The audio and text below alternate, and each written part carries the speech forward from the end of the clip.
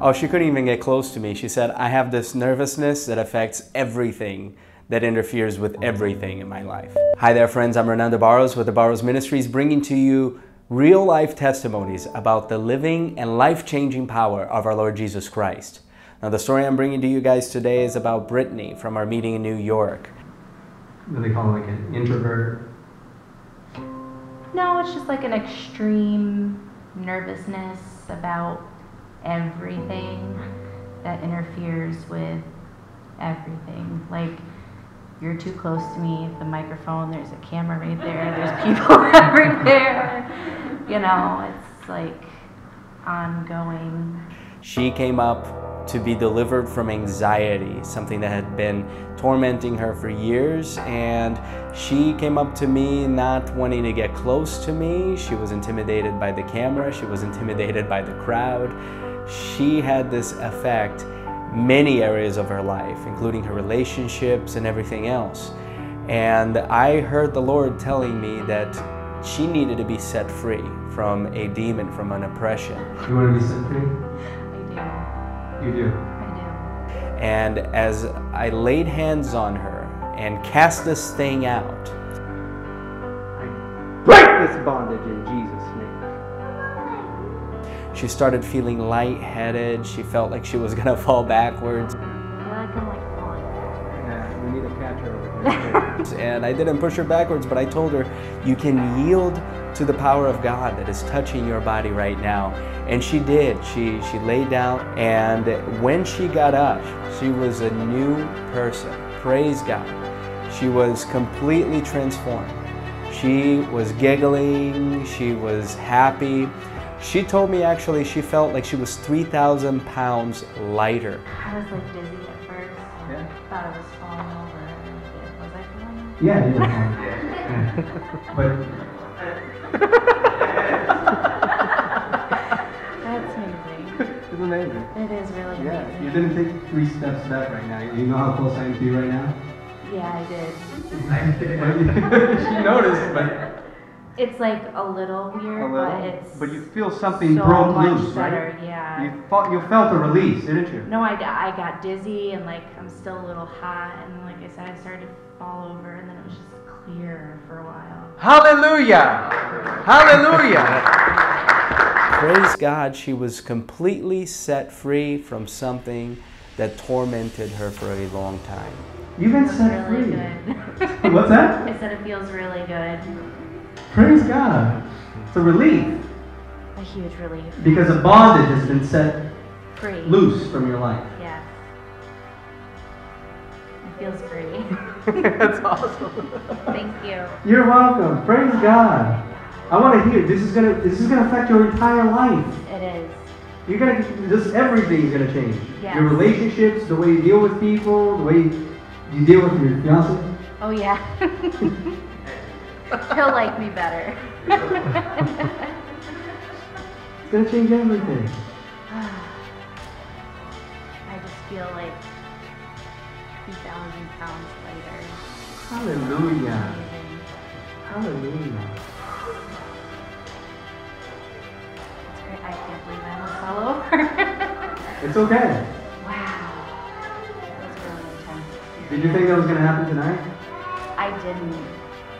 You mean like when I came here? Yeah. Oh no, I didn't expect anything like that. Not at all. Now, we like following up with people who have been touched by the power of God at our meetings because the enemy is always trying to steal something away they may have received. So we followed up with Brittany to see how everything was doing, and it, it's amazing. She's been she's been doing great. She says, "I'm doing great. My anxiety was completely gone for about a week. It did come back a little bit, but nowhere near as bad as before. I've only taken the medication for it once since the meeting. I used to take it almost every day. Now, almost a couple of months have gone by, and praise God, Brittany used to take a medication on a daily basis just to function. And no more does she have to do that. She's completely set free. She had to take it once since, but praise God, for two months she took it one time. Um, you know that by what she's saying, the enemy's been trying to come back with some darts and trying to, to take away the peace that she received, that she had for a full week, right? Um, she continues, she says, God blessed our finances. I preached a lot. The Lord gave me some teaching messages on prosperity while I was in New York as well. So praise God. God blessed our finances. And I am back to work part time helping people who battle alcohol and drug addiction. Glory to God.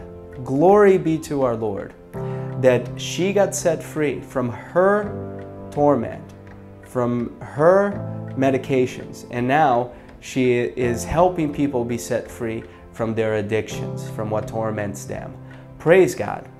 Now, I did talk to her and give her some uh, instructions on how to combat these attacks of the enemy because obviously she felt complete peace for about a week and then things got a little rocky. So here's how we fight this. I told her, stand on Isaiah 53 5, which says, But he was pierced for our transgressions, our sins, he was crushed for our iniquities.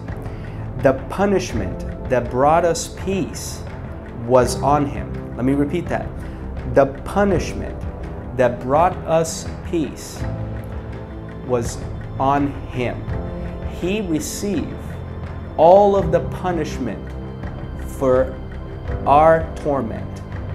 The chastisement of our peace was on him on the cross. When Jesus died, he took away everything that would torment you and I. He washed us clean from every work of the enemy that would cause us to worry or be, be depressed or feel anxiety, feel anxious. So praise God. We can stand on this word knowing that the Lord Jesus did this and that by his wounds we are healed. Hallelujah. Another word is from Galatians 5:1 told her to stand on this. It says, It is for freedom that Christ has set us free. Stand firm then, and do not let yourselves be burdened again by a yoke of slavery. Friends, when something has happened in our lives, when the Lord has touched us, and we are free from something, we must stand firm because the enemy may come back, and he will always come back and try to do something to affect us again but we stand firm on the freedom that was paid by our Lord Jesus Christ, what He's done for us on the cross. Praise God. I know that as I pray for you right now, if you're battling with anxiety, I know that the power of God, the anointing by the Holy Spirit can touch you where you are. Let's pray in faith right now that there is no separation in the Spirit, that there is no separation in geography and time, that the Spirit of God can transcend all of these things and touch you right now by the anointing in the words of faith that I'm speaking right now to you and set you completely free from whatever condition of anxiety you may have, from whatever depression you may be battling with, from whatever worry that may be affecting you. So I'm going to pray and we're going to, in faith, receive this anointing and this power that's going to set you free right now. Father, in the name of Jesus, I speak to the people under my voice right now that they receive your healing power, that it touches them, that they receive you, Jesus, and what you've done on the cross. And by the power invested in me and the anointing of the Holy Spirit, and in the name of Jesus, I cast out any anxiety, you spirit of anxiety, of depression, I cast you out in Jesus' name. Be loose from their life in Jesus' name right now. Father, I pray that you seal these words of life into their hearts, that your words are life and light that will guide them into complete freedom in the name of Jesus. Friends, stand on the Word of God, for it is the truth that will set you free. Thank you so much for everybody who's been encouraging my wife and I in this ministry. We have been just overwhelmed by the support and the people who have shared our videos, who have helped us in spreading the gospel.